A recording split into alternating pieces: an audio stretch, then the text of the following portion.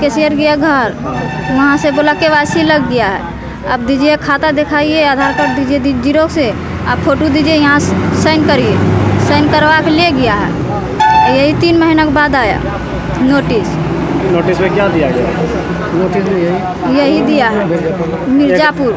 एक लाख रुपया का नोटिस आया है। आप कभी उठाए हैं पैसा? ना कभी भी नहीं उठा। हम जानबे ना करते। कभी अचानक आपके अकाउंट में आया नहीं। नहीं। ये सब हम जानबे ना करते।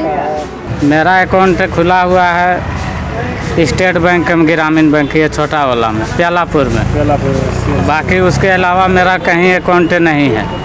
और ये जो है धुरवा काम किया है हम ना किसी को आधार कार्ड दिए हैं ना और कुछ दिए हैं। ये खाता खोला हमको मालूम भी नहीं है और बोलता है पैसा आया है पैसा निकासी भी हो गया है।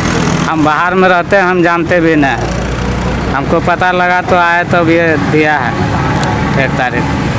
बाहर में क्या करते हैं? बाहर में अपना सिलाई काम करते हैं हिमाचल में। ऐसा हुआ है कभी कि आपके अकाउंट में कभी पैसा आया हो कभी नहीं हुआ।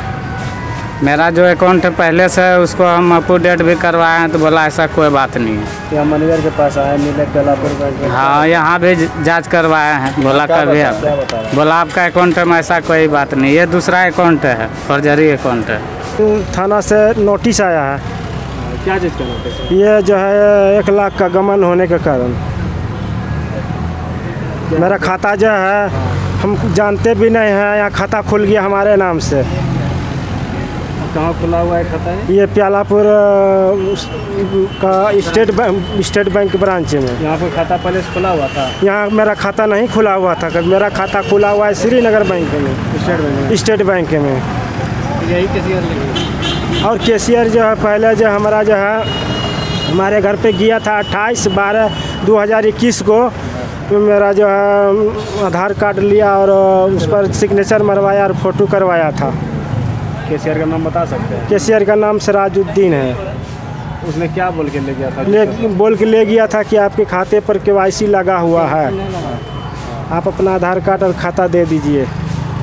आपसे वहाँ ले लिया। हमसे ले लिया और फ़ोटो भी क- अपना मोबाइल से किया लिया। फ़ोटो भी। उसके बाद फिर? फिर उसके बाद हम पूछे उसको आखिर किस मकसद से लिए? बोला आपके खाता बहुत कमज़ोर है इसलिए लिए आपके खाते में मजबूती करने के लिए। फिर सुबह दूसरे दिन फिर उससे मुलाकात किए जाके बैंक में श्रीनगर। तो बोला कि आप घबरा रहे हैं क्यों आपके खाता कमज़ोर था इसलिए हमने आपसे आधार कार्ड लिया और आपका जो है जी थी क्या बोलता है नाम का लिखवा है नाम आपसे और अथी खाते का जो है जीरोक्स लिए उस पर खाते पर जो नाम लिखवाए यह सब पता कैसे कब चला आपको? हमको पता ये नोटिस आने के कारण ये मिला परसों क्या बोलता है जुमा को। जुमा शनिचर। को शनिचर को ये नोटिस मिला तब हमारा दिल खटपटाने लगा आखिर क्या मामला है जो कि हमने इस पर तजवीज़ करने लगे? तो देखते हैं पता मिर्ज़ापुर से नोटिस आया है तो बोलता है कि आपका खाता खुला हुआ मिर्ज़ा प्यालापुर में आपके खाते पर जो इतना पैसा गमन हो रहा है हुआ और हम एक बार भी खाते में पैसा इससे नहीं निकाले हैं। तभी जो आप तो उनका कहना था कि आपका जो आधार कार्ड मिल रहा है हम कहें हमारा आधार कार्ड कहीं से उठा लिया होगा? अरे सब तो मिल सब तो मिली भगत रहता है। कहीं भी उठा सकता है। हम तो खाते तो बैंक वाले के दिए हम खाते राशन वाला राशन वाले को दिए हैं। हम खाते और जगह दिए हैं।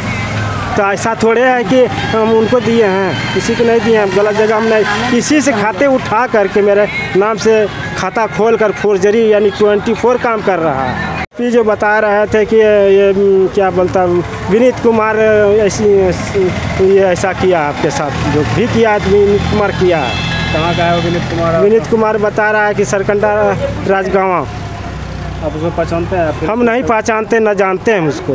कई पेपर दिए थे? कोई पेपर हम नहीं दिए। और जो बताया सिराजुद्दीन क्या नाम बताया जो पेपर जो लिया था? पेपर जो लिया था वो जो गया था तो उस पहले श्रीनगर बैंक में मैनेजर था वो सिराज। वो गए थे हमारे यहाँ। और हमारे यहाँ से यानी अट्ठाईस बारह दो हज़ार इक्कीस को लिया था। अभी वो यहीं पे है अभी प्यालापुर में बदली होकर यहाँ आ गया। कब आया नहीं आया ये पता हमको नहीं है। उसके पेपर ले जाने से कितना दिन बाद ये नोटिस आया? ये तो मतलब शनिवार को आया परसों तरसों। पेपर लिया तीन महीने बाद आया। हाँ पेपर लेने के बाद तीन महीने के बाद आया है तीन चार महीने के बाद आया है।